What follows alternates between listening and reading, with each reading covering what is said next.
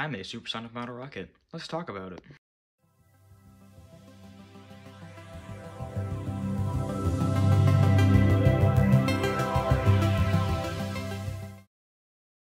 For context, this is part of Project Mile, that will henceforth be known as Project M1.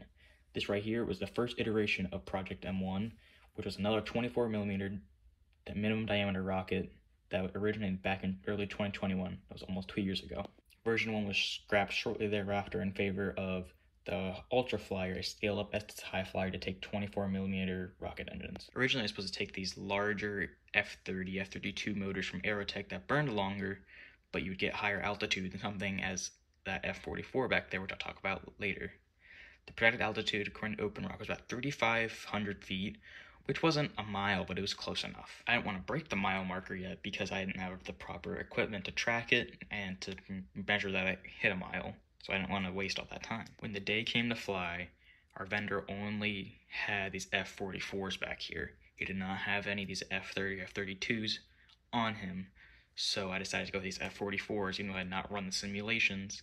I assumed since they were lighter, it would still work anyway.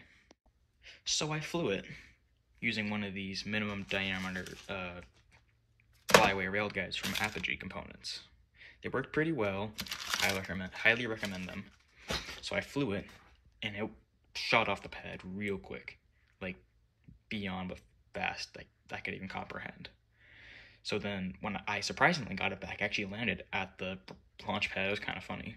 But when I got home, I wanted to rerun the simulations to check it, and I saw, oh wait, OpenRocket says Mach 1.13.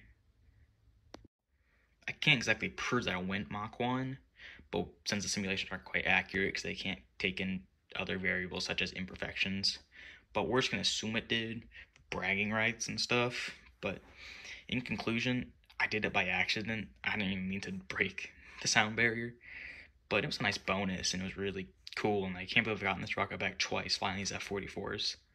And I do have one more, this one right here, and I can't wait to fly it next week. And over the next year or two, I plan on working on the M1 even more.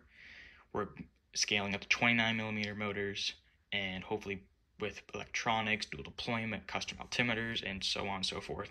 So please stay tuned for that, and I can't wait to see where this project goes.